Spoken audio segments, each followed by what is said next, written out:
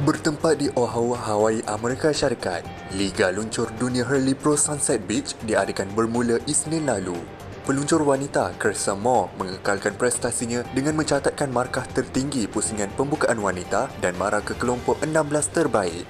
Selepas gagal melepasi pusingan pertama dalam pembuka musim, juara dunia bertahan Stephanie Gilmore dari Australia juga membuat permulaan yang baik dan mara ke pusingan seterusnya manakala juara dunia 11 kali, Kelly Slater yang baru menyambut hari jadi ke-51 memenangi pusingan pertama sejak memenangi kejuaraan dunia pada tahun 2019.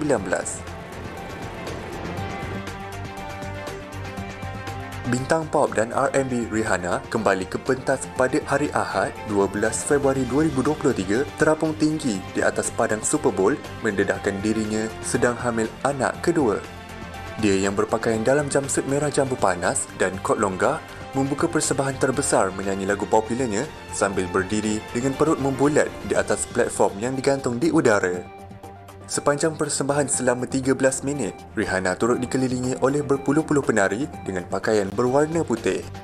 Penyanyi itu melahirkan anak pertamanya, seorang lelaki dengan penyanyi rap ASAP Rocky pada Mei 2022. Sarkofagus zaman Rom ditemui di tapak perkuburan Rom berusia 2000 tahun di utara semenanjung Gaza. Sekitar 90 kubur individu yang besar telah ditemui dan diawasi oleh pasukan pakar Perancis. Sarkofagus itu dipercayai diperbuat daripada plumbum milik tokoh berprofil tinggi dari era itu. Namun masih belum dibuka dan telah dimasukkan ke dalam bekas kayu pelindung serta tertakluk kepada kajian lanjut oleh pasukan pakar Palestin dan antarabangsa. Beberapa tempayan tanah liat dan barangan lain yang ditemui di tanah perkuburan menunjukkan tapak pelabuhan lama zaman Yunani dan Rom.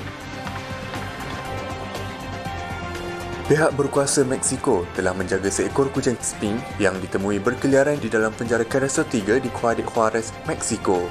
Kini, kucing itu berada di tempat perlindungan haiwan kesayangan perbandaran dan tempat perlindungan angkat RAMM untuk menerima rawatan perubatan selanjutnya. Kucing tidak berbulu itu mempunyai sekurang-kurangnya dua tatu. Paling jelas, satu di sebelah kirinya bertulis Made in Mexico dengan helang tersendiri. Imej itu dikaitkan dengan salah satu kumpulan penjenayah yang beroperasi di negeri itu.